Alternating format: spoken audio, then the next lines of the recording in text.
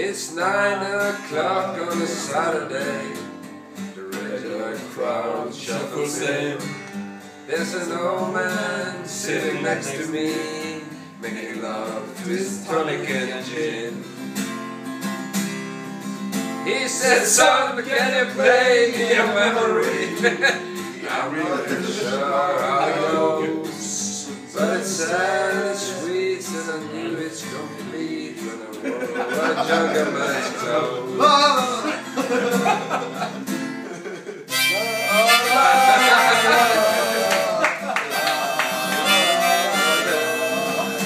Det är Sölgutna.